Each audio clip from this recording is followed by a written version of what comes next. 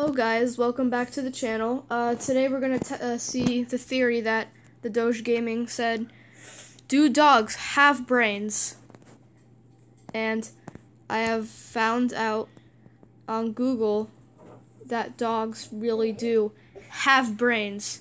So, thank you the Doge Gaming. Um, subscribe to him. He's a good fellow. He's lit. And have have have a good day. Subscribe to him and me. Bye.